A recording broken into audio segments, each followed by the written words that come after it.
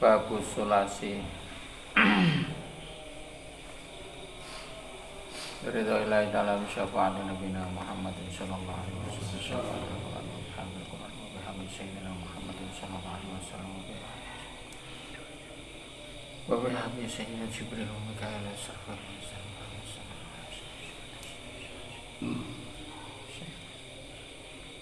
Mukaramatu wa barakati jamin masyaihina radhiyallahu anhu wa nabihim wa bi barakati ulumi wa asrari mal fatiha.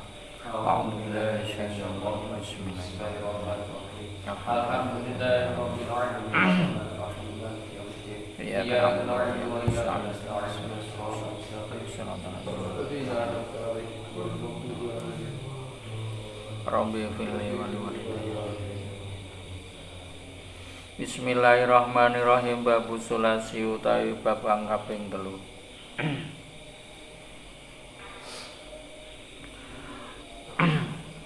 babu asulasi utai bab kang kaping telu to kang bangsa telu. Wa lan ing dalem mengkono bab.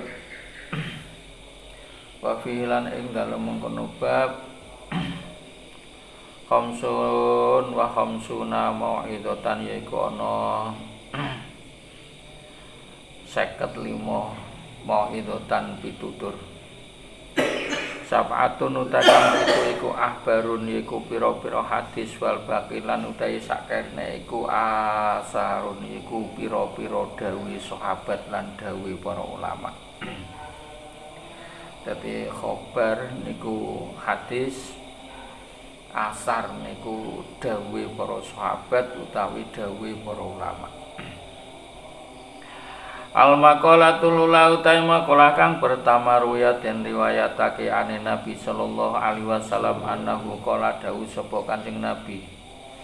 Man utawi sapa nge asbah kang isu-isuan sapa man fi aida khala tegese manjing fi waktu sabah ing dalem wektu esuk. Wa huwa hale utawi man iku yasku wadul-wadul sapa man ilan nasi maring menungso Watul dhaikal ma'asi ing rupeke pengupa jiwa utawa rupeke penguripan. Pakaan nama mangka kaya-kaya utawi man iku yasko iku wadul robahu ing pangerane man. Wasikayatun lan utawi mengkono wadul lataliku ora patut illa ilallah angin kejaba maring Allah. Fa innaha mongko setune iku wadul min jumlati doa ya setengah saking golongane donga. Dadi wong niku ora entuk wadulan, isu-isu wis nangga wadul tanggane. Niku ora entuk. Wadul karo Gusti Allah mawon. Dadi man asbaha wa wasaqul dzikal ma'asi faka annama yasku robbahu sing sapa wonge wadul karo menungso padha karo niku kaya-kaya niku wadul marang pangeran. Amma amma syakayatu anapun utawi wadul-wadul ilang nas maring menungso wahya mongko utawi wadul wadul min alamati adame ridho ya saking alamate pira-pira tetengere ora anane ridho bikismatillahi ing pandume Gusti Allah taala. Haleluhur. Allah lahu kelawan man. Dadi sing sapa wonge kok sering wadul karo menungso. Dadi wong sing wadulan karo menungso niku nandhake wong niku nak ora ridho karo apa sing wis didadekke utawa ora ridho alamatun adami ridho bikismatillah maring pandume Gusti Allah. Dadi apa-apa sing wis didumke marang dheweke niku termasuk dheweke niku ora ridho. Dadi wong niku gresula terus anane. Gresula saking ra kuwate gresula niku terus laporan kancane. Bengi esuk-esuk niku wis mara ning kancane gedumel. Aku urip ngene-ngene kang ngene iki. Niku jenenge nandhake nek wong ora syukur, ora nrimo karo pandume Gusti Allah. Kamaru ya kaya barang kang den riwayatake Abdillah bin Mas'ud kala kala Rasulullah sallallahu alaihi wasallam. ala eling-eling a'lamukum tegese au alimukum ya mulang ingsun ing sira al kalimati ing pira-pira kalimat alati takalama ya kang guneman biha kelawan kalimatmu sapa Musa Nabi Musa alaihi salam ina zahina jawaza. Nalikane liwati al bahra ing segara. Ma'a bani Israil sartane bani Israil. Fakulna mongko matur sapa ingsun bal bala ya Rasulullah inggih ya Rasulullah kulu padha ngucap sapa sira kabeh Allahumma lakal hamdu wa ilaikal mustaka wa antal musta'an wala haula wala quwata illa billahil aliyil alim niku dungane nalikane liwat segara utawa dungane nalikane numpak perahu, numpak kapal ngoten niku. Kala ngendika sapa amas amas fama tarok tuhun mongko ora tau ninggal sapa ingsun. Mungdu sami tumuhuna ya awit ngrungu ingsun. Ing mengkono donga min sakiki ya saking mengkono. Min sakikil asad ya saking mengkono.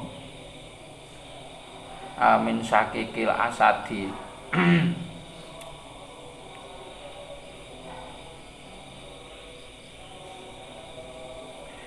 Bismillahirrahmanirrahim.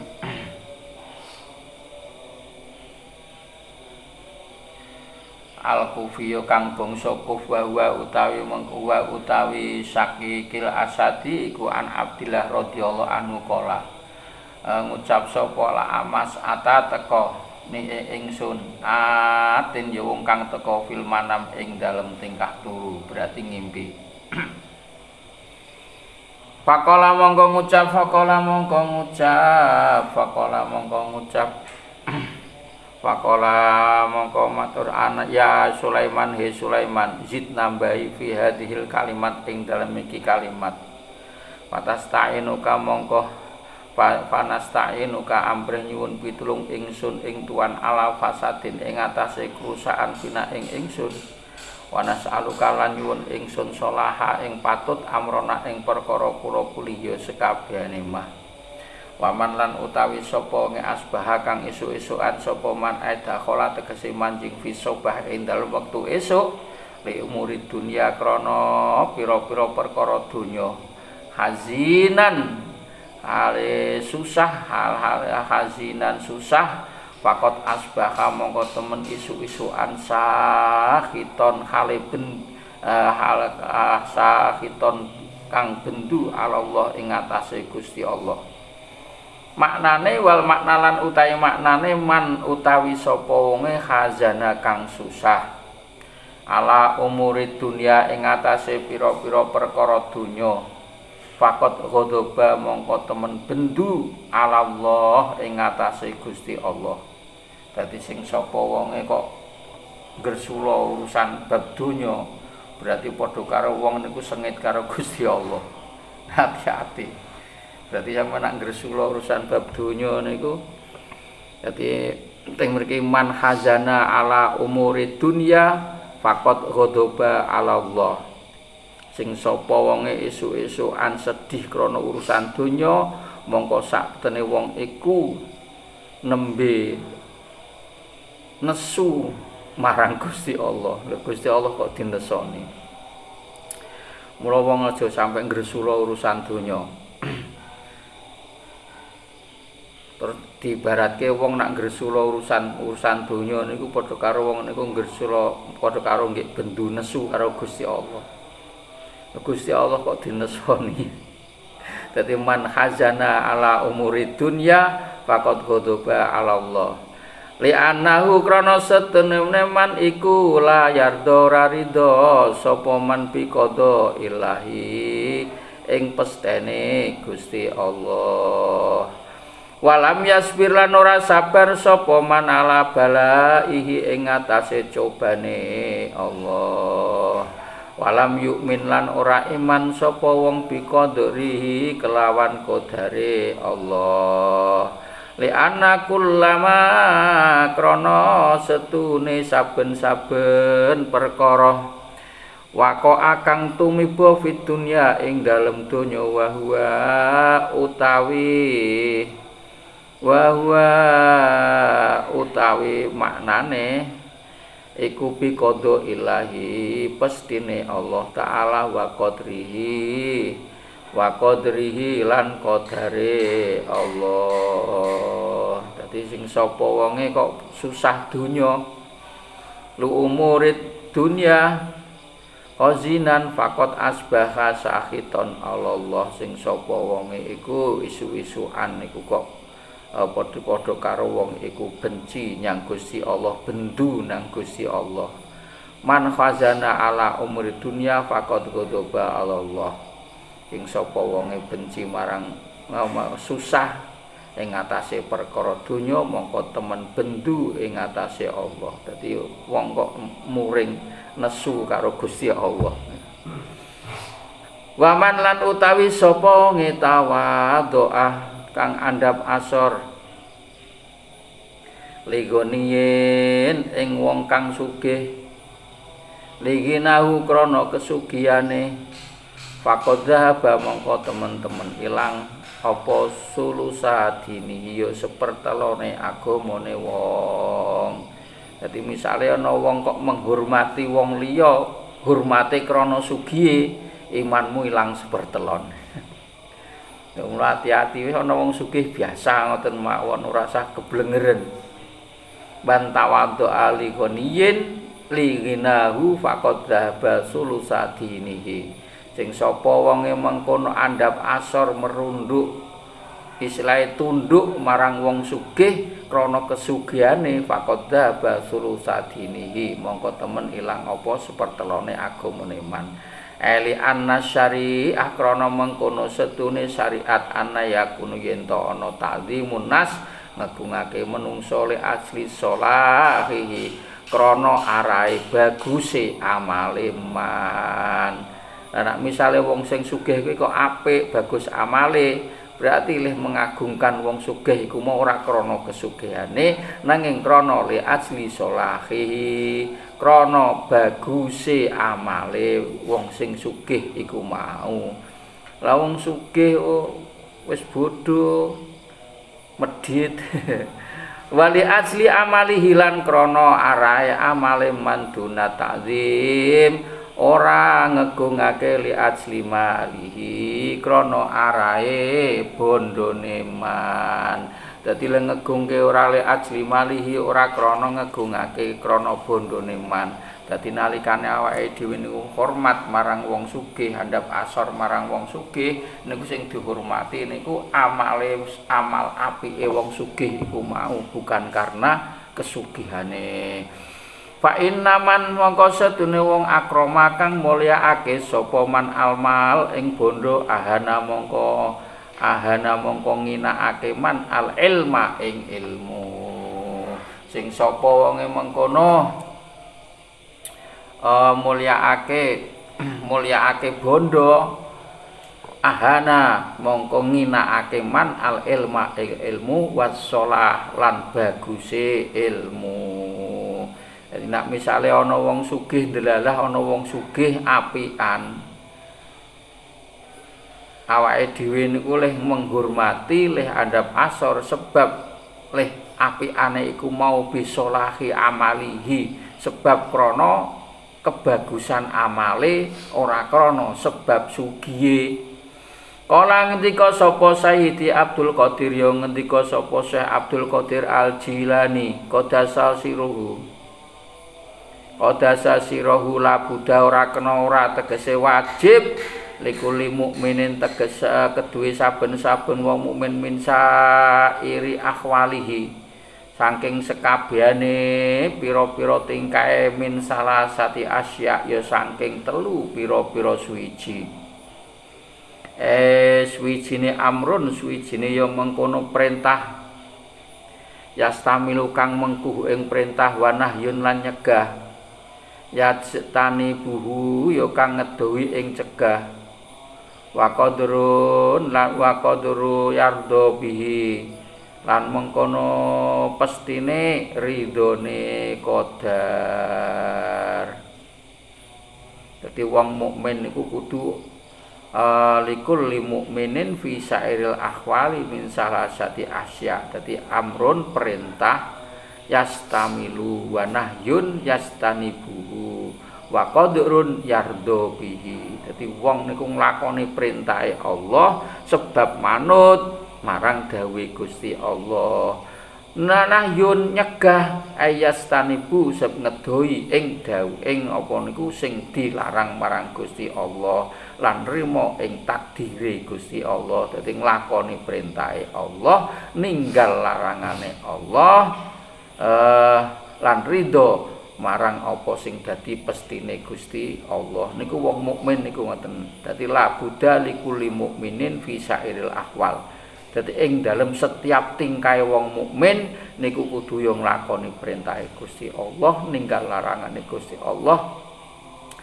Terus ridho, ikhlas, nerimo marang takdiri Gusti Allah niku wong mukmin. Dadi nek wong ora nerimo marang takdiri Gusti Allah, ya ya mungkin iman tapi kan kadare beda, kadar imane tipis.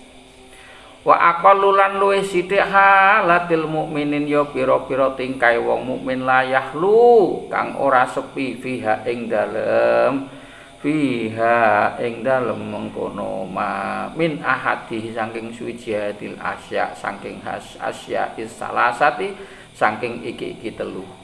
Payam bagi mongko sayuk jolah kedeman ayul zima yen tong langgengake hamma hayo ing nejone. Qalbahu atine wayu hadisalan ngomong wayu hadisalan ngomongi biha ing ing salah sama apa nafsu yo awake wayak hudalan ngalap al jawari ing pira-pira anggota badane biha kelawan mengkono pitutur telu bisa iril ahwali ing dalem sekabehane pira-pira tingkah iman dadi pokoke awake dhewe ing dalem segala tingkah kudu aja sampai ucul perkara telu. Dadi perkara telu iku mau apa yaiku nglakoni perintah Gusti Allah, ninggal larangane Allah lan ridho ikhlas marang apa sing wis dipestekke marang Gusti Allah. Wal maqalatu sani sasa niatulan utahe makalah kang kaping pindhoan Abi Bakar Siddiq radhiyallahu anhu. Salah satun utahe perkara telulat tutraku ora ora den temokake. Bisalah satin kejaba kelawan perkara telu. Ai salah sun yo telu hasalatu hisolen yo telu pira-pira tingkah latut labu. Ora den suprih bisalah sati asya kejaba kelawan perkara telu. Algina sugih bil muna yo kelawan pira-pira angen-angen. Dadi ora iso. Sugih kok mung angen-angen tok iso Aibidomil mim tegesi kelawan dumah mime iku jamul muni jamu muniyatin iku jama'e lafal muniyatin iku al muna niku jama'e lafal muniyatin. Ai falayah sulu mongko ora bisa dadi hasil apa al ghina sugih bi amanin kelawan pira angen-angen. Dadi wong angen-angen tok tapi ora kerja ora berusaha apa sing digoleki iki rasa dadi bal bil kismatin ya balik kelawan panduman minallahi saking Gusti Allah. Dadi muni menak wae Gusti Allah paring lak ya paring ya ora iso. Dadi mung angen-angen tok.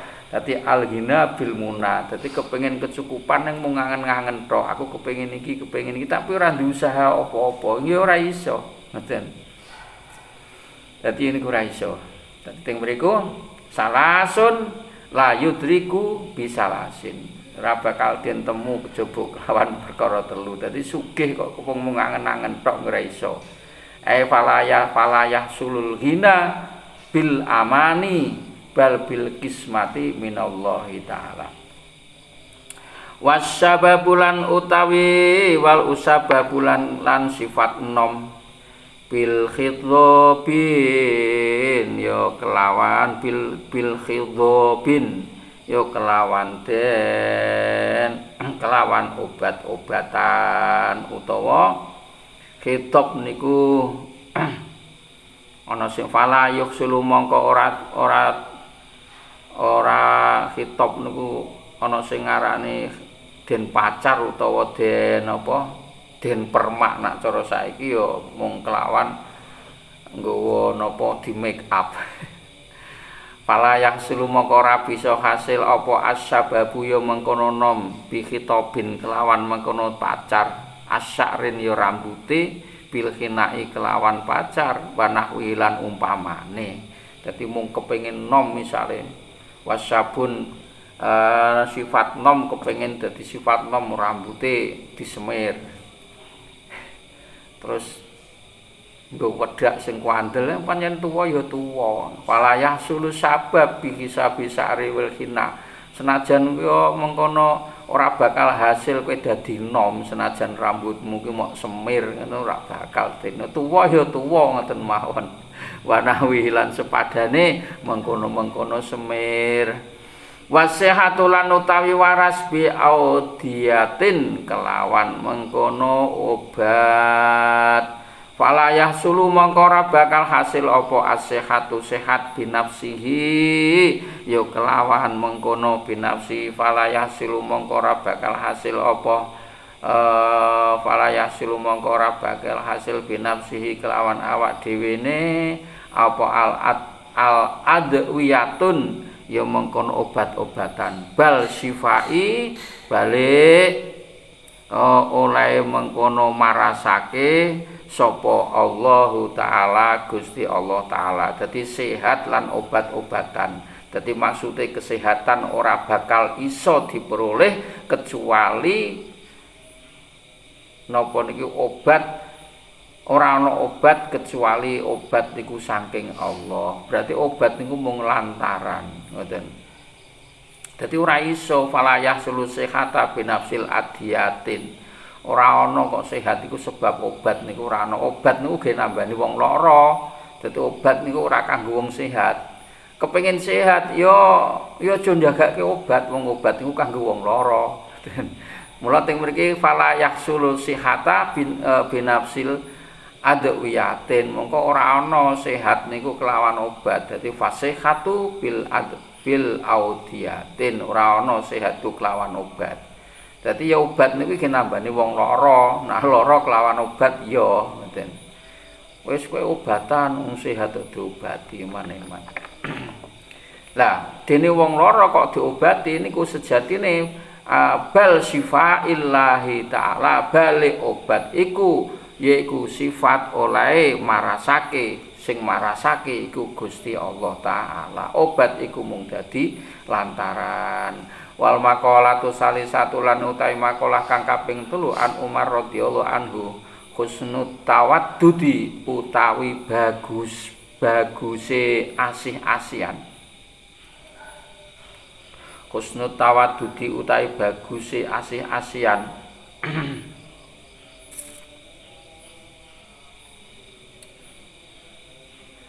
al mahabbah tegese sifat demen sifat cinta ilan nas maring menungso iku nisful akli iku separone akal. Dadi wong nek wis seneng karo menungso niku akale ilang separo wong nek seneng karo menungso niku ilange akale ilang separo dadi husnut tawaddudi ilan nas nisful akli.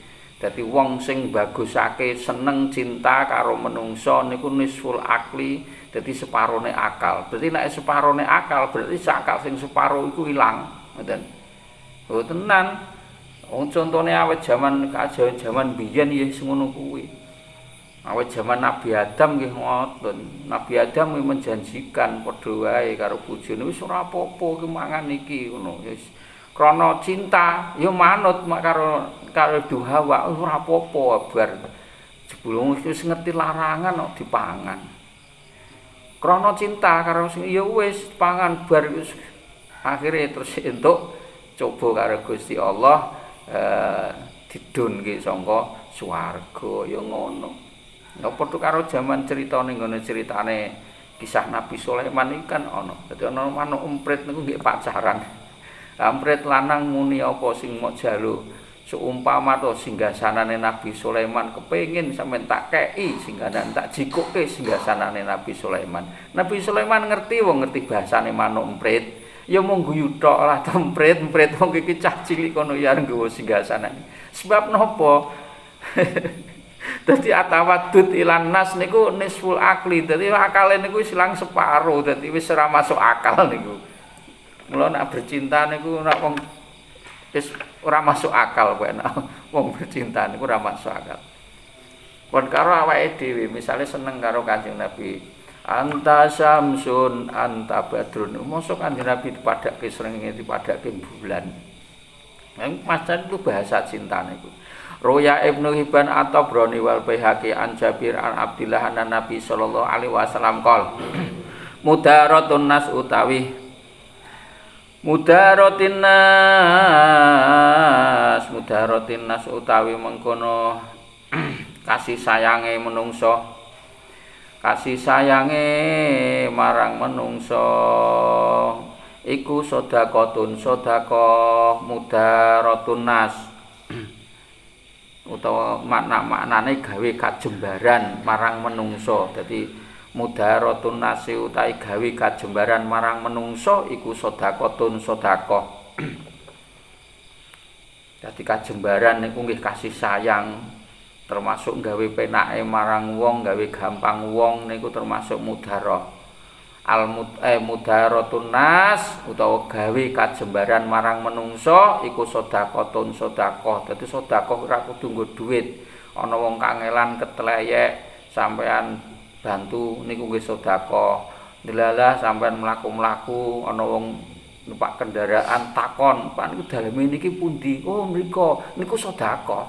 Pun niku mun sedekah termasuk kan gampangake gawe gampang marang wong muda rotunas. Gawe gampang, gawe kajembaran, gawe penak marang wong liya niku termasuk sedekah. Emula fadho e mulatofatun nas tegese yo uh, ngal uh, tegese melasi ing menungso bil koli kelawan pengucap wal fi'li lan penggawe ya mengkono termasuk melasi belas kasih karo menungso belas kasih ya karo ucapane ya karo penggawene ucapane ya lembut, tingkah lakune ya ora gusrah-gusruh, ora srugal-srugul. Niku wong sing apik. Niku niku wis sedekah. Jenengan ngomong apik karo wong niku pun sedekah. Lah santri ra duwe apa-apa, duwene iki omong lambe karo awak santri. Wis wis duwe apa-apa, omongane kasar, tingkah lakune bejujak, pating bedugal, wah wis ra entuk-entukan. Oh santri niku nak kepengin sedekah gampang ana tamu nggih monggo pinararin oh, niku sedekah. Tingkah lakune sing apik teko dipecicili eh Mahmudi. Napa kowe arep ngono? Lho ayo wah wis santri apa ngono wis yo takone sing apik. takone sewu ketoke kok plingak-plinguk urung tau ren takone asalamualaikum dalem pundi Mas? Badhe napa? Kowe pundi? Oh, nggih. Mriku entos sedap. Nah gek wedang lutik-lutik lutik-lutik kowe tunjuk entos sedap nggih ngono. Pendeli tok. Wah wis. Ah repot niku jenenge. Sedekah niku gampang wis karo sing ngucape karo sing sumeh. Dadi nek tamune sesuk kan ya wah niku lho santri niku sing cah apian niku. Ngoten. Para pecuca pecucu prungat prengut. Wal qalilan mengkono utawi wal mua nas utawi mengkono melasing menungso bil qali kelawan pengucap wal fililan penggawe iku yusabu den ganjar alaiha ing atase wong sing apian sawabas sedekatin diganjar ing kaya ganjarane sedekah Dadi penak niku sedekah niku apa wae iso. Dadi ora perlu sedekah ora kudu sugih. Jenengan sugih awak duweni awak ya tingkah lakune sing apik, omong ucap jek duwe lambe nggih ngucap sing apik ngoten. Wa kana lan ana minal mudarot min min mudaroti ya saking gawe kajembarane. Kagek kenjebaran sapa Kanjeng Nabi sallallahu alaihi wasallam. anahu setuhne kanjeng nabi iku layazumu ora modo sapa kanjeng nabi toaman ing panganan. Walayan harulan orang getak sapa kanjeng nabi khodiman ing juru laden walaya zribulan ora mukul sapa kanjeng nabi imroatan ing wong wadon. Dadi kanjeng nabi niku ora tau modo panganan. Wong lanang dimasake asin sithik masak apa masak ana apa iki? Rasakno gua biar iki apa ya aja ngono kok mangan kok nggih ora patek. Mangan ngoten mawon nggih ora patek seneng. Ngoten mawon lah wis. Engko kan bojone ngrasake wah lah ya asine kaya ngene kon seneng piye? Kan ya ngono.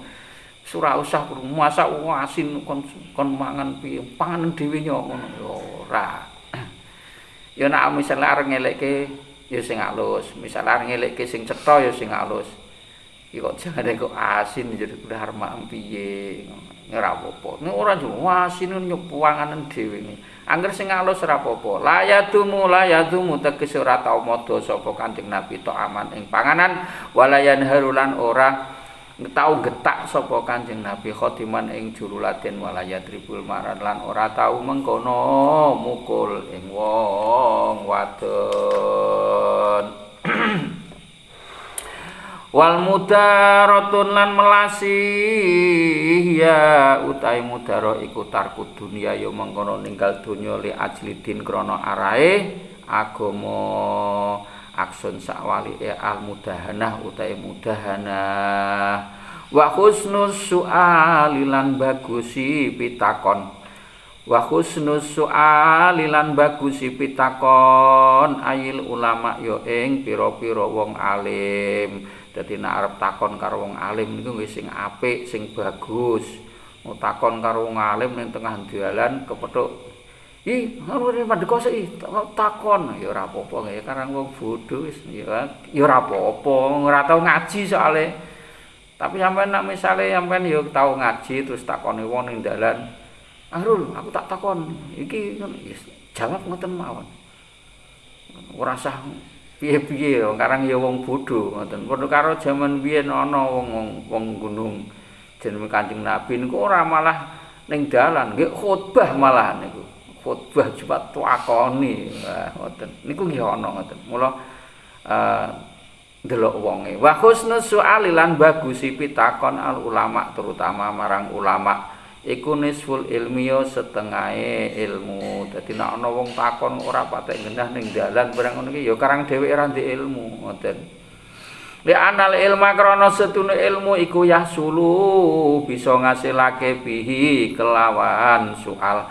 Wa husnut tadbir lan mengkono bagusi mengkono tadbir Takbir mengkono utahe kang aran takbir iku ngatur ai ijra ai ail ijraul umur tegese nglakokake pira-pira perkara ala ilmil awaqibi ing ngatasé ngaweruhi pira-pira pungkasane. Dadi husnul tadbir ai husnul tadbir iku nisful ma'isyah iku separone pengupa jiwa.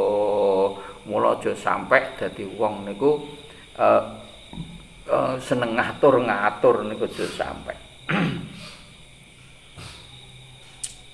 Utawa tindakan.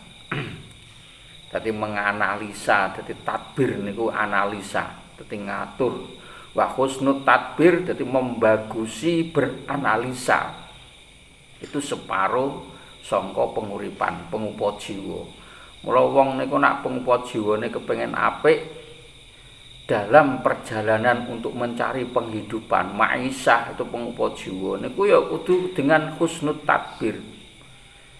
Dadi kudu pandai menganalisa, pandai menganalisa, aku nak ngene iki engko dadine ngene, aku nak ngene aku tekane ngene sebab iki ilmune cara ilmune seperti ini. Kudu ngerti ilmune.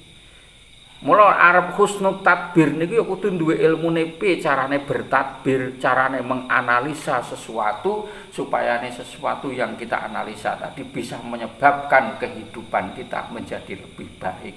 Ngoten. Dadi ora sithik-sithik yo heeh yo heeh ora. Kudu dianalisa nek memang ki ora pas ya ora sah lakoni ngoten mawon.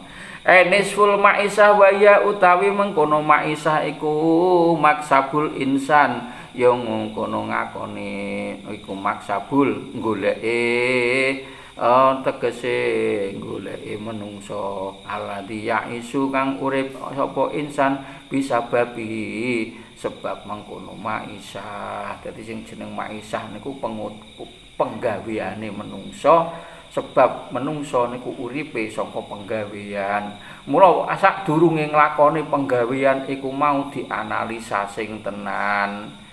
Dadi penuh analisa, dadi ora sembarangan. Kanggo mulai kerja aku yang ya pikir sih dianalisa sih iya aku nak melok kerja ngono balik kok jam 6 iki tekan omah ora iso. Ora iso salat maghrib. Kok tekan omah aku mesti wis bar maghrib. Bar maghrib aku biasa bar maghrib jamaah maghrib wiridan sampai isya umpamane. Aku ya rugi nak ora wiridan sampe sidone ya kudu dianalisa dan nek dianalisa engko dadi rugi ning burine Bismillahirrahmanirrahim. Wal maqalatur rabi'atul lan utawi maqalah kang kaping pepatan Utsman radhiyallahu anhu. Man utawi sapa wong taroka kang tinggal sapa man dunya ing dunya bi an akola klawen yen to nyithikake asyaba asyaba ing warek wal aklalan mangan wa abghada lan bendu asana ing pengalem minan saking menungso Dadi sing jeneng tarku dunya bi an akol lasab'a kelawan yen to nyitikake wareg. Dadi mangan ora waregen. Ngombe ora sampai kemlakaren. Apa wae aja kakean, ngoten. Dadi masuk akol lasab'a ki ora mung wareg wetenge tok. Dadi segala sesuatunya itu jangan sampai berlebihan, overhead. Dadi berlebihan iku aja sampai. wis pokoke apa mawon sing mejono? Mejono niku sing pas-pasan. Aja sampe bian akol lasaba akol lasaba ya kelawan nyedekake ing wareg. Maksude nyedekake wareg niku wis apa-apa niku jangan berlebihan wa aklalan mangan ya termasuk berlebihan mangan. Wa abgodolan nesu-nesu. Asana wa abgodolan bendu asana ing pengaleminan saking menungso. Dadi maksud iku ora seneng dialem. Aja seneng dialem. Niku termasuk wong sing ninggal donya ora seneng donya niku wong sing termasuk wong sing ora seneng dialem mangane yo cukupan pokoke hidup secara cukup tidak berlebihan umpama berlebihan harta benda yang lebih kelebihan dari harta benda tersebut digunakan untuk orang banyak. Paling wong niku nggunakake sithik tok, ngoten. Padha karo kiai-kiai niku. Senajan ketoke kiai-kiai niku do sugih. Paling makme sithik tok. Wong delok niku tamune do dahar ngoten wis seneng. Kadang-kadang niku malah lali sing di omah niku. Pak kiai dhewe iki lali malahan. Wis bar acarane ngono ke wetenge ngelih. Padahal ora ngerti iku turahan-turahan wis digawa bocah-bocah kabeh entek. Lah ngoten niku. Niku kadang-kadang niku ngoten. Ahabbahu luweh den seneng ahabbahu den seneng iman sapa Allah ahabbahu den senengi sapa Allah Gusti Allah taala. Bismillahirrahmanirrahim.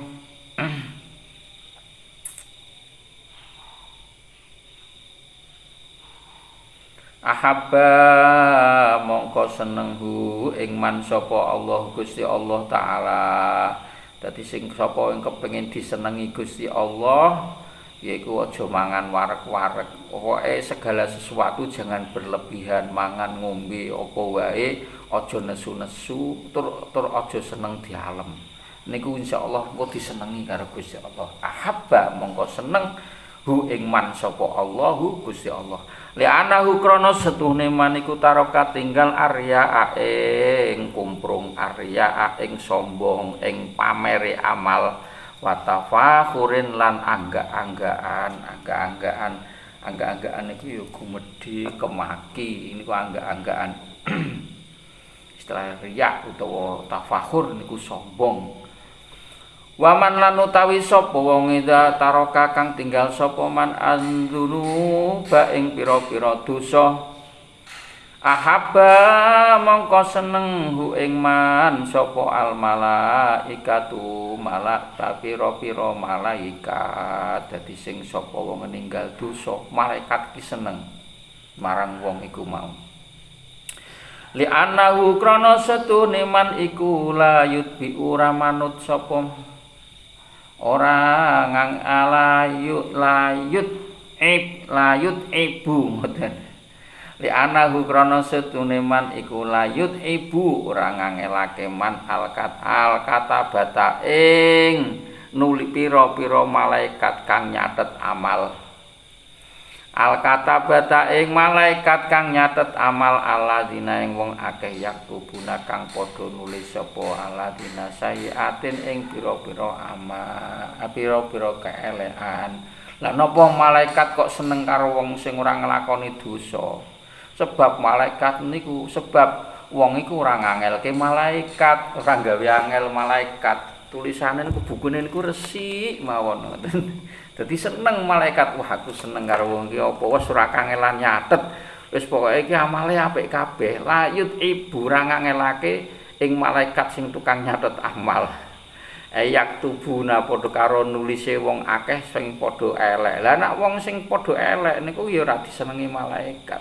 Kepengen disenengi malaikat berarti yo mongkono ninggal dosa sing kopo wong disenengi kepengen disenengi karo Gusti Allah ojo jangan berlebihan dalam segala hal terutama berlebihan dalam hal makan ojo kepengen dialem. Niku insyaallah disenengi karo Gusti Allah.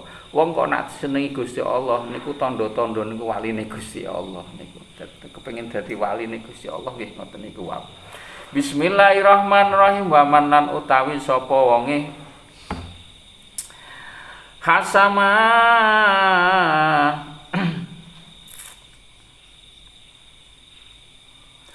Bismillahirrahmanirrahim. Wa manan utawi sapa wonge hasama kang megot man at tomaa ing ngarep-ngarep anil muslimin saking pira-pira wong muslim e kota ahu maknane megodu ing muslim anhum saking muslim.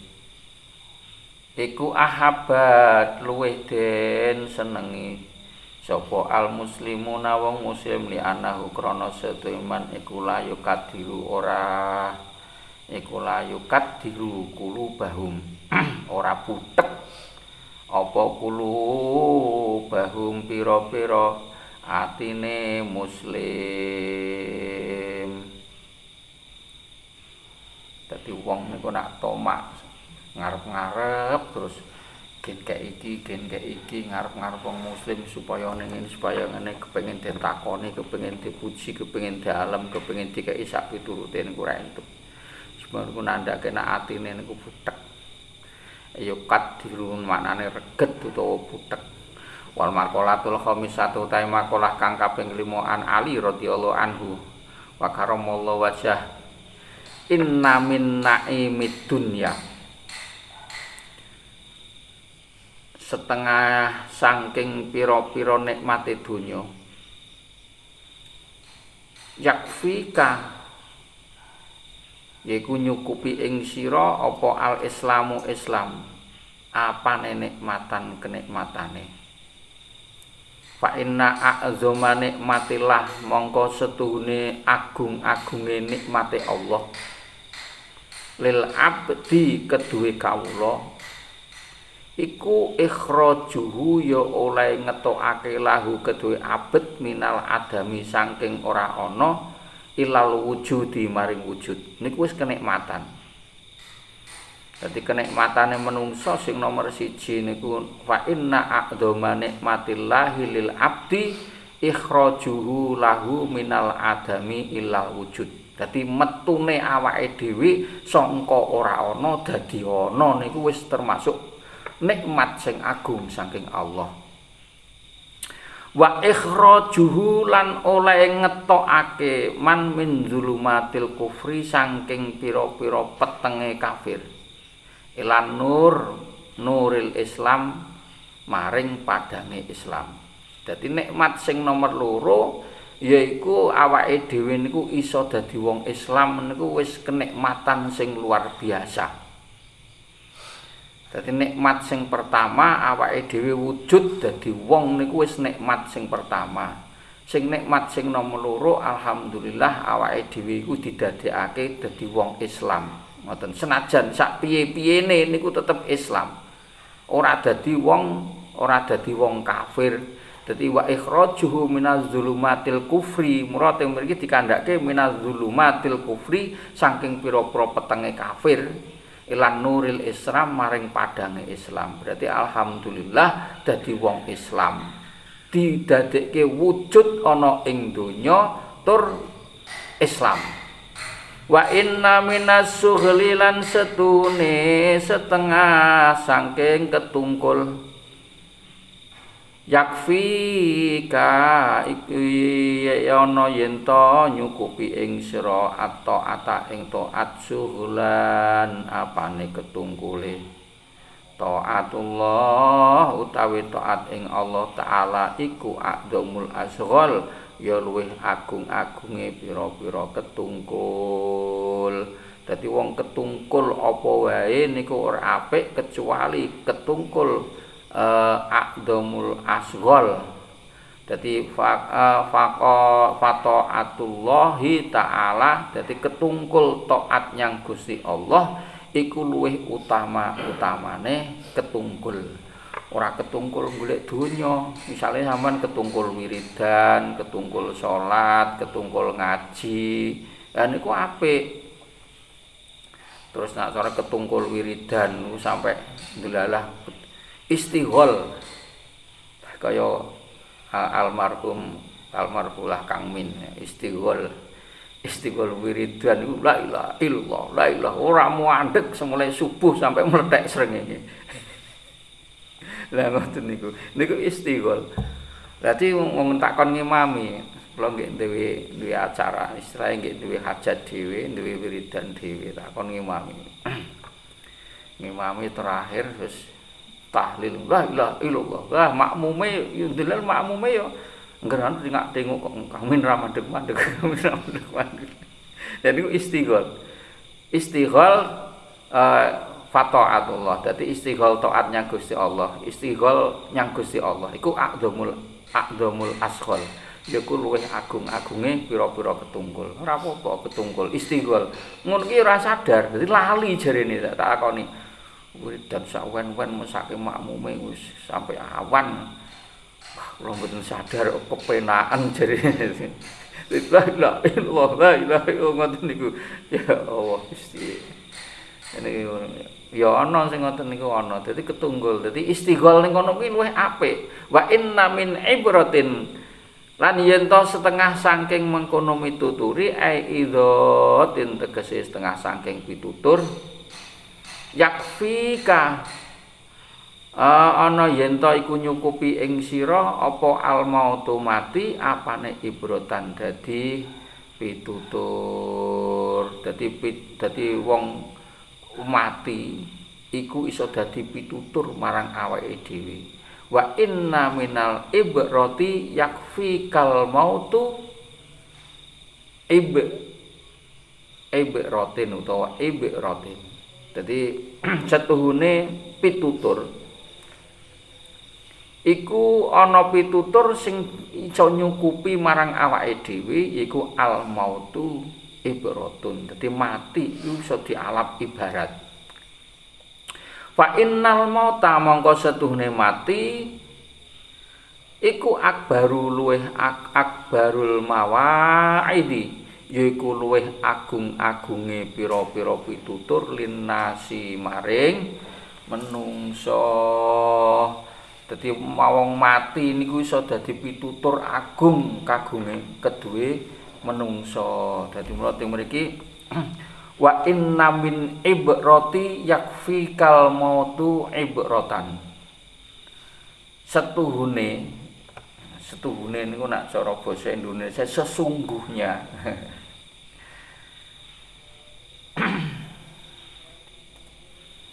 dari sekian dari beberapa mau idoh pitutur cukup mati sebagai pengingat. Sesungguhnya mati merupakan hal yang paling agung sebagai pengingat untuk manusia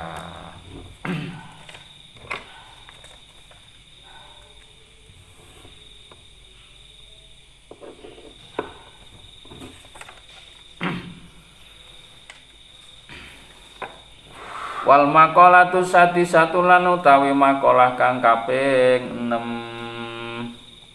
an Abdillah bin Mas'ud radhiyallahu anhu kamin mustadrajin kam pirang-pirang ya maknane min mustadrijin saking wong kang den lulu.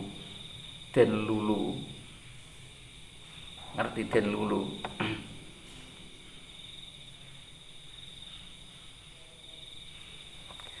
Dadi wong den lulu niku dikai penak terus karo Gusti Allah. Lah sing jeneng mustadrajin utawa wong kang den lulu iku ma makhuzil qalilan kang den tatrapi qalilan sithik qalilan sithik. Bin nikmatin kelawan nikmat. Bi iksari hayo kelawan tegese yo ngakehake nikmat. Dadi wong niku sejatine niku nikmat. Entuk nikmat terus napa niku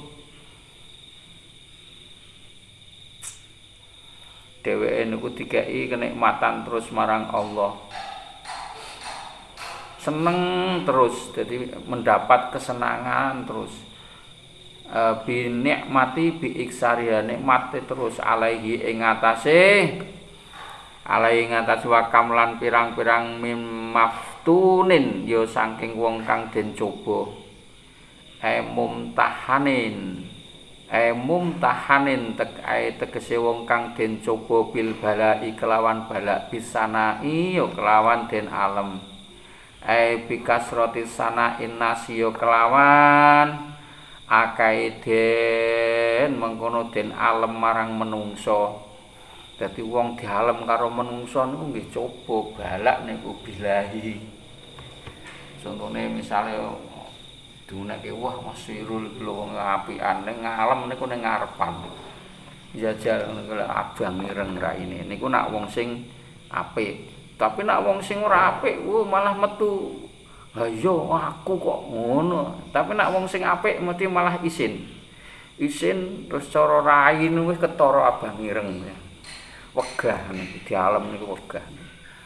Tapi nak wong sing pancen watake ngoten niku wah kowe jenengan ku apik memang. Wah niku malah iya. Lan ngoten niku. Hati-hati aja seneng di tapi nak pancen iso ya aja gel aja nganu aja mungkir. Misale sampean kok iso ngaji kok ngaji ya gelem ngoten. Golek wegah terus alasan wah aku nak iso muluk dalem. Piye? Ah iku aja ora ngono aku ki wedi nak dialem aku wegah ngono. Ya ora ngono maksude iki kok wis pancen dialem ya karepmu arep ngalem karepmu ngono sing penting aku ora seneng dialem ngrek ngoten mawon. Lha pancen nyatane apik pripun? Ngoten. Tapi yo nak jenengan ngerti nak kancane apik yo aja dialem ning aku. Sampean iki nyen apik ya kan tenan sampean ora ana sing apik kok sampean iki aja kaya ngono. Bareng ngono kancane dilalah iki memang seneng dialem ten. Wah, aku kok payah nek wis ngono. Aja kaya ngono kuwi. Aja seneng dialem. Wong dialem niku bahayane. Niku termasuk emum tahanin bil bala niku kang dicoba niku kelawan bala. Bisana in ya kelawan den alam epikas roti sana isnas ya kelawan mengkono akeh pengalami menungso. Alaihi ing atase mengkono mamnun. Wa kamin magrurin lan pirang-pirang saking wong kang den bujuk eh mutmainin tegese wong kang anteng apa kalbahu atine fi dunya ing dalem dunya. Wa ghafilin lan ketungkul anil akhirati saking akhirat bisitri oleh mengkono nutupi. Ai sitrilah ya mengkono oleh nutupi Allah uyubahu ing pira-pira celane uyubahu ing celane man alaihi. Uyubahu ing celane man ali ngatasé man. Dadi akeh emut mainen wong kang anteng kalbahu fid dunya wa ghafilin anil akhirah. Bisitrin kelawan tutup. Ai bisitrillahi uyubahu alaihi. Dadi yo akeh.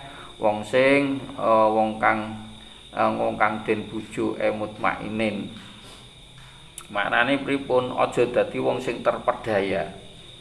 Akeh wong sing terpedaya tertipu karo atine.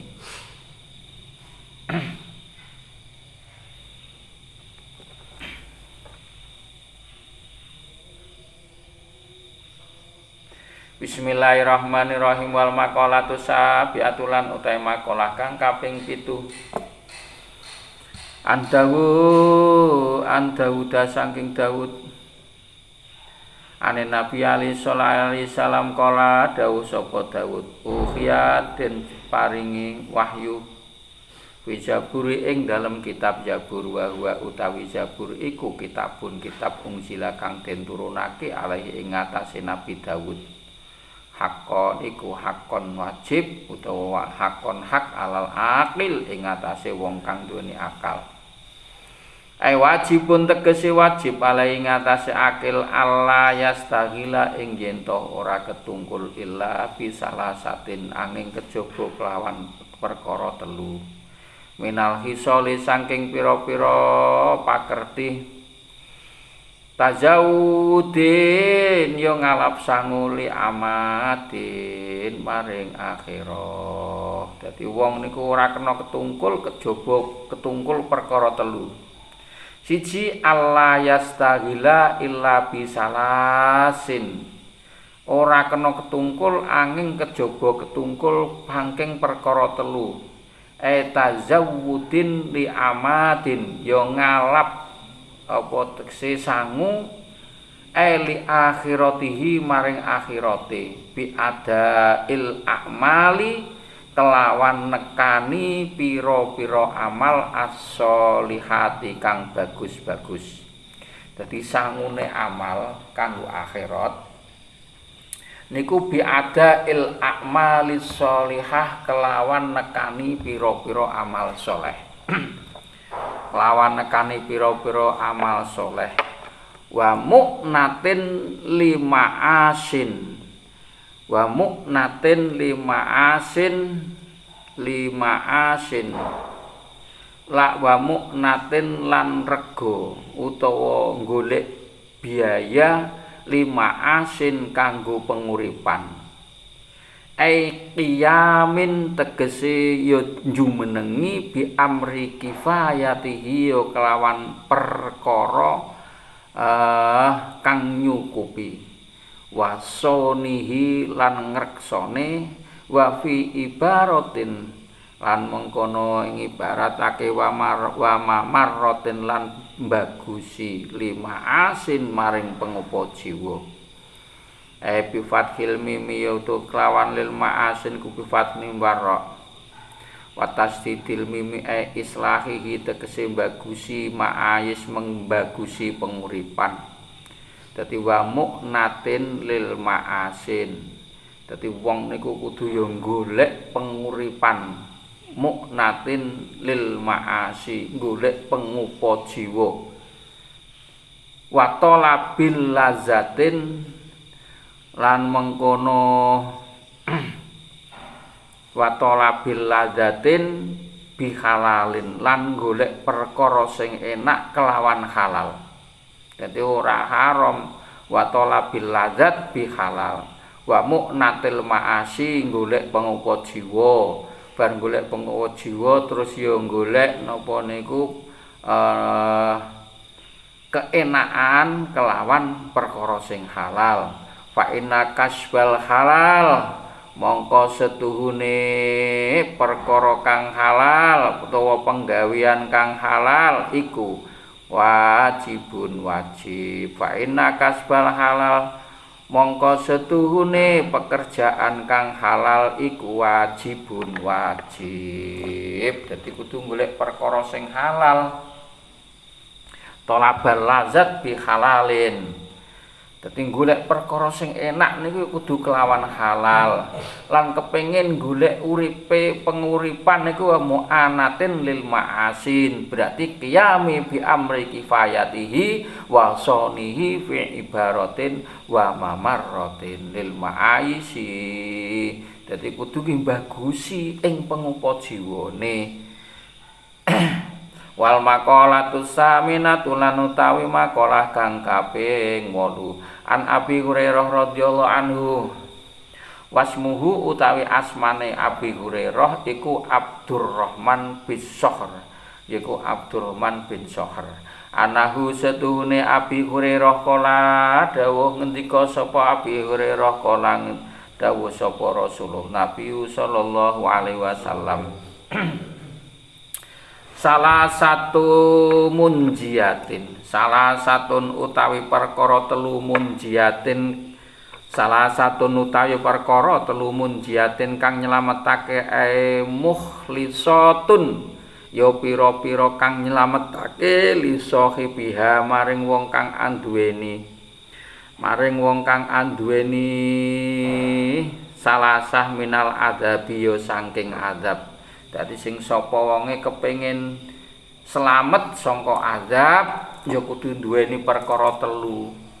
Wasala satun lan utawi mengkono perkara telu muhlikatun kang ngrusakake emu ki atun tegese pira-pira kang nibakake li fa'iliha maring wong kang nglakoni perkara telu. Fi halakin ing dalem rusak. Wasalasun lan utawi perkara kang wasalasun lan kang telu iku darajatun iku pira-pira derajat emana zilun ya pira-pira derajat fil akhirati ing dalem akhirat. Wasalasun lan utawi telu kafaratun iku pira-pira penglebur lidzunubin maring pira-pira dosa amiliha wong kang lakoni perkara telu amal munjiyatun anapun utawi pira-pira kang nyelametake. Anapun utawi perkara kang nyelametake fa khasyatullah iku wedi ing Allah taala fisirin wa alaniyatin ing dalem perkara kang samar ing dalem tingkah samar wa alaniyatin lan ing dalem tingkah ngedeng maksude fi khasyatil khasyatullahi taala wedi marang Gusti Allah niku senajan ing panggonan sepi mbah ana wong weruh mbah ora ana wong weruh. Nak pancen niku ora dientuke Gusti Allah ya aja dilakoni. Aiku dimatekese den dinginake apa asiru rahasia apa asiru rahasia apa asiru rahasia? At-taqwa ya at-taqwa Allah ya takwa ing Allah fihi. Ing dalem mengkono asiru a'la darajatan. A'la darajatan iku a'la. Ya luwih luhur apane? Darajatan derajate dadi takwa merupakan derajat tertinggi wal qastulan nejo fil fakri ing dalem fakir wal ginalan sugih etawasutun tegese ngalap tengah-tengah fil maisatin ing dalem pengupo jiwa. Bi alam yujawis kelawan yen orang liwati fiha ing dalem pengupo jiwa al hada ing wates. Radhiya ridho oman bidzalika ing mengkono-mengkono pertengahan. Dadi wong niku ya aja sugih-sugih banget, ya aja kere-kere banget, sing pertengahan mawon. Dadi nek misale sugih niku nggih kesugihane kanggo sing liya ngoten mawon, aja kanggo awake dhewe. Wal adlu lan adil fi ing dalem Firido ing dalam waktu ridho wal ghadab lan ing dalam waktu bendu. Dadi wong adil nalikane wong kuwi kok dalam keadaan lilo atau dalam keadaan nesu niku wong niku kudu iso padha. Bi Allah kelawan yen to bendu man sapa krana Allah lillahi krana Gusti Gusti Allah. Dadi wong nak nesu krana Gusti Allah. wayar dolan ridho ridho krana ridhone Gusti Allah dadi wong nak misale omonge banter rada nesu niku nesune krana Gusti Allah Sebab napa kadang-kadang wong sing dinesoni itu nglanggar syariat Gusti Allah. Mula nesune ya nesu bi ayyak Allah yaiku nesune krana Gusti Allah. Dadi wong nak gampang nesu nggih al-ghadbu minasyaiton sembarang dinesoni berarti setan. Tapi nak pancen wong sing dinesoni kok nglanggar syariat agamane Gusti Allah, leh nesu tok niku ganjaran, rumangsamu nesu itu dosa. Dan nesune wong alim entuk ganjaran karena sing dinesoni niku nglakoni dosa, nglakoni perkara sing ora bener, ngoten. Sebab nek ora dinesoni, nek ora diomongi keras ora mudeng bi ayat Allah wa yarda. Nek nesu ya nesu krana Gusti Allah. Nek ridho utawa pas ikhlas apik ya krana Gusti Allah, ngoten. Wa al muhlikat lan anapun utawi perkara kang rusak. Fasukhun mongko utawi kumet-kumet iku medhit. Fa amal muhlikat anapun utawi perkara kang ngrusakake menungso itu fasukhun iku medhit sadidun kang banget. Dadi wong niku fasukhun sadidun medhit banget. Dadi medhit medhitil wis pokoke medhit banget. Niku ngrusakake menungso dhewe. Ai bukhlun tegese medhit sadidun kang banget falayu adi mongko ora nekakake apa man maing barang alaihi ngatasi wajib minal haqillahi saking hake Allah taala wa hakil khalqilang hake makhluk. Dadi wong nak medhit niku hake Gusti Allah ora ditekani apa meneh kok hake menungso hake Gusti Allah misale sing wajib-wajib kaya yakat niku kan hake Gusti Allah Wa fi riwayatin lan ing dalem suwijine riwayat fasuhun mongko utawi sifat medit iku mutaun dentut. Ai bukhlun utawi medit iku yuti uhu anut ing bakal. Sapa al insanu menungso amal lau kana ana to lamun ana sapa al bukhlu wong medit iku maujudun mau maujudan maujud fi nafsi ing dalem awake wa mutain ora dentut falayakuna mong falayak falayakunu mongko ora ana apa bakhel iku muhlikat kang rusak. Li annahu krana setune mengkono medit minas sifatin saking pira-pira sifat alazimatin yo kang tetep li nafsi maring awake dhewe ne wong dadi termasuk pemedit niku nggih watak minas sifatil lazimati lin nafsi. Wal hawa lan utawi mengkono hawa nafsu iku matabaun yo dentut bi ayata bi aklawan yen to ngetutake ma ing barang iku ya kang perintah bihi kelawan ma hawa apa? Hawane man dadi perkara sing ngrusakake amale wong niku termasuk medhit terus wong sing ngetutke hawa nafsune. Wa ijabul mar'i lan oleh nggumunake wong suwiji binafsihi maring awak dhewe ne wong. Termasuk wong niku ngunggul-ngunggulke awake dhewe dadi ngunggul-ngunggulke awake dhewe niku napa? Dadi melihat diri sendiri dengan pandangan kesempurnaan. Dadi seakan-akan tidak ada orang yang baik kecuali awake dhewe. Ora ana wong pinter kecuali awake dhewe. Ora ana wong iso kecuali awake dhewe. Wa ijabul mar'i binafsi dadi uh, mengagungkan nggawokake gumunke awake dhewe. Sithik-sithik aku ora ana aku ngoten niku wae ngoten entuk. Niku termasuk al muhlikat jadi sesuatu yang bisa merusak diri sendiri. Medit terus ngetutke hawa nafsu terus rumongso terus membanggakan diri sendiri. Al ijabul mar'i binafsi jadi membanggakan diri sendiri. Niku mboten entuk An-nadru ilaiha ternosok ningali bi'ainil kamal kelawan mengkono peningal sempurna ma'anis yang sartane lali binikmatillah yang nikmati Allah Ta'ala. Wa ma'al amni lan sane lan sartane sentosa minazawali ayo saking ilange nikmat. Wa amad darajat tunana pun utawi pira-pira derajat fa ifsa'u salam mongko utawi jawab salam. Utawa fa ifsa'u salam mongko utawi uh, ngucapake salam membudayakan salam utawa nyiarake salam. E izharu salam tegese yo mertelakake salam penanas antarane menungso bi antu salima kelawan yen to uluk salam sira alaman ing atase wong arafta kang kenal sirahu ing man. Waman lan wong lam takrif kang ora kenal sapa mak sapa sirahu ing man. Dadi uluk salam niku ora kudu kenal. Dadi misale ana teng wong teng mriku dingak tengok dingak tengok jenengan luwi salam. Asalamualaikum ngoten. Dadi teng pundi Pak? Badhe kepanggih sinten? Daleme pundi? Ngoten. Dadi sing uluk salam iki sing luwih apik. Bi antu salima alaman araf tahu wa man lam takrifhu. Dadi uluk salam ki marang wong sing kenal utawa marang wong sing urung kenal. Dadi dumeh urung kenal jenengke luwat pelili itoke sik ana lungguh ning kono ning kamar mandi.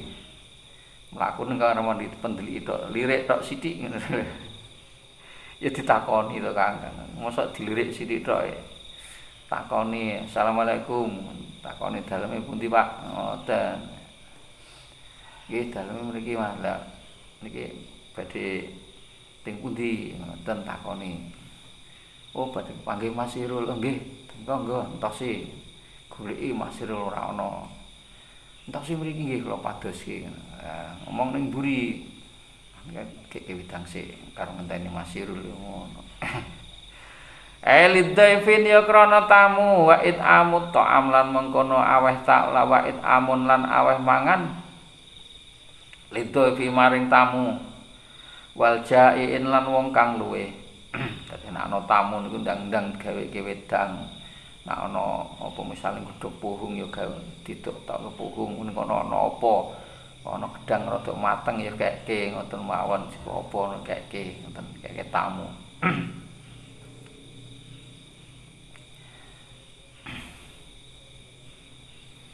Wassalatu lan utawi salat bilali ana ing tengah wengi. Wanasulan utale utawi menungso iku niyamun pira-pira kang turu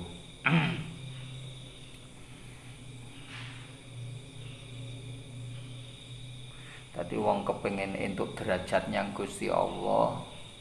Dadi nomor siji iki malah napa amut ta'am, termasuk ifsaus salam. Dadi uluk salam iku untuk derajat sing tinggi.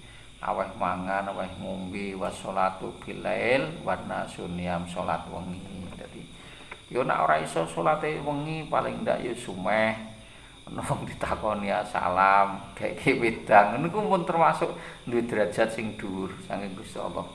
Dadi entuk derajat saka Gusti Allah.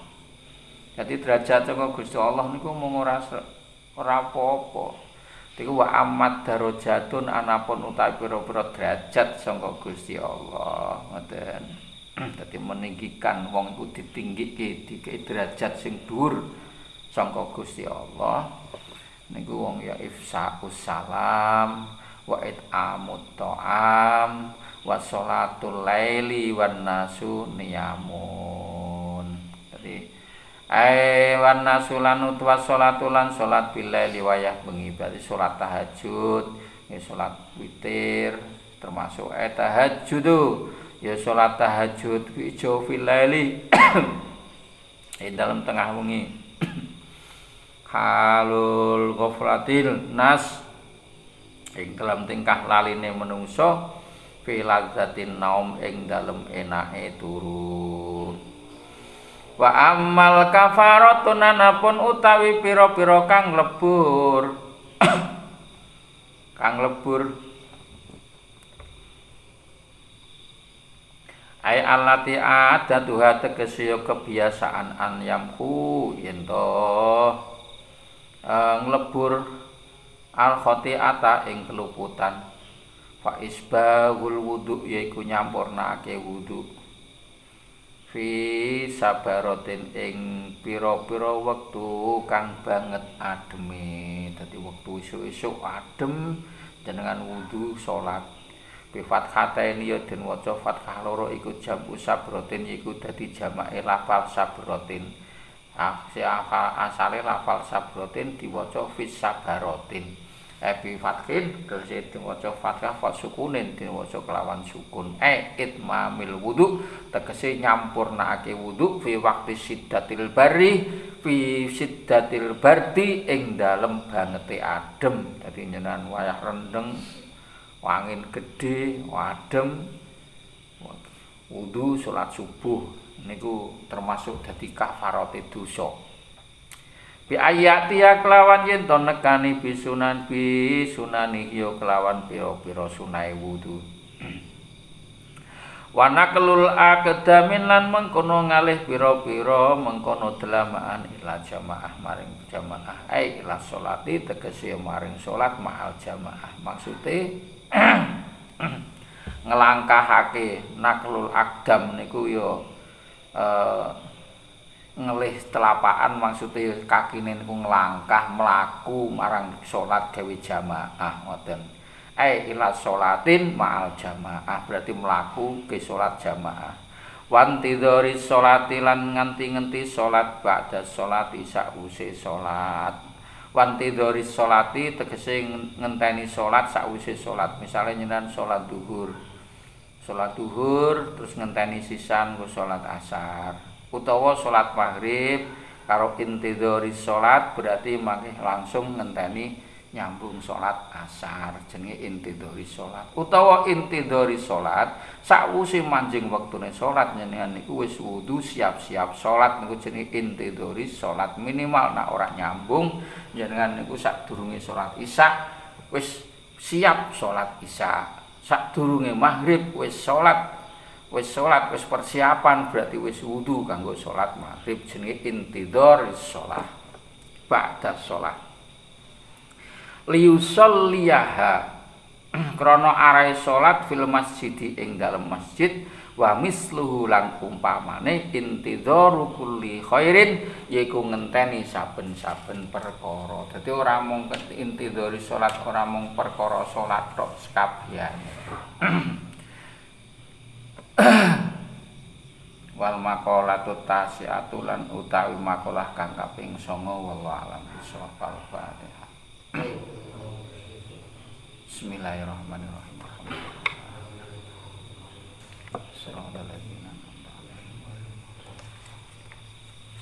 Rabbi fi'li wa'li wa'li ta'i ya wa'li wa'li wa'li wa'li